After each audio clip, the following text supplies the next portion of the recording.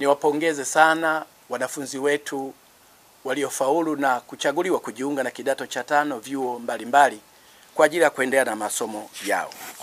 Wamefanya kazi kubwa na kwa kweli wanastahili pongezi kubwa. Katika kipindi hiki ni watake wazazi waendelee sasa kufanya maandalizi maandalizi mazuri kwa ajili ya watoto wetu hawa kwenda kuanza masomo yao. Kama mnavyofahamu, muda wa kuripoti vijana wetu hawa umefika, kwa sababu wanatakiwa waripoti hawa wa kidato cha tano tarehe kumi na tatu Juni elfu mbili na ishirini na mbili. Pamoja na hayo, ofisi ya Rais TAMISEMI imekuwa ikipokea maombi mbalimbali mbali kutoka kwa wazazi na wanafunzi wenyewe wakiomba kubadilisha shule ama tahasusi kutokana na sababu mbalimbali mbali. Wapo walioomba kubadilisha shule kwa sababu ya upendeleo wa shule, kwamba walikopangiwa ni mbali ama pengine shule ile haifahamiki vizuri, na hivyo wangependa waende kwenye shule wanaoifahamu sana kama Weruweru, Kilakala, Iliboru na kadhalika. Wapo walioomba kubadilisha shule kwa sababu ya kukosea kujaza mahali walipozaliwa au wanapoishi kwa sasa. Wapo wengine walijaza nao kwa changamoto hizo hizo mbalimbali, lakini kwa bahati mbaya wanaugua kwa sasa, na hivyo pengine maeneo yaliyopangiwa hayawezeshi kusoma vema kulingana na matatizo yao ya kiafya. Kamati zetu za, za uendeshaji kule kwenye mikoa yetu pamoja na halmashauri zetu tumetoa mwongozo.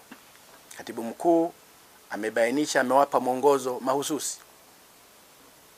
Mwongozo huu umelenga kuwawezesha makatibu tawala wa mikoa kuweza kushughulikia changamoto hizi mbalimbali mbali.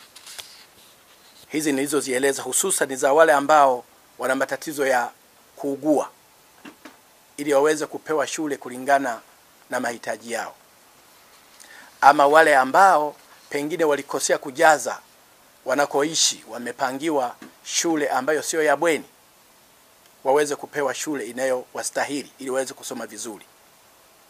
Mwongozo waliopewa makatibu tawala wa, wa mikoa umebainisha vizuri na vigezo vinavyopaswa wao kuzizingatia ili waweze kumaliza changamoto hizo mbalimbali zitakazojitokeza. Kwa hiyo tutoe wito kwa wazazi wetu na wanafunzi wetu kwa ujumla, wasihangaike na kupata shida sana. Wale ambao wana sababu hizi za msingi sana, wawaone makatibu tawala wa mikoa, watashughulikia kuzitatua hizo changamoto katika maeneo ya mikoa yao. Ninapenda vile vile kusisitiza sana kwa viongozi wetu wa ngazi za mikoa na halmashauri kusimamia kikamilifu wanapofanya au kutatua changamoto hizo, miongozo hiyo waliopewa. Mikoa ihakikishe kuwa inalinda na kudhibiti idadi ya wanafunzi wanaowahamisha katika shule mbalimbali kwenda kwenye shule nyingine ili waendane na nafasi zilizopo katika shule hizo wanazowahamishia. Wasifanye makosa ya kuwahamisha wanafunzi kuwapeleka kwenye shule na kuzidisha idadi ya nafasi zilizopo katika ile shule.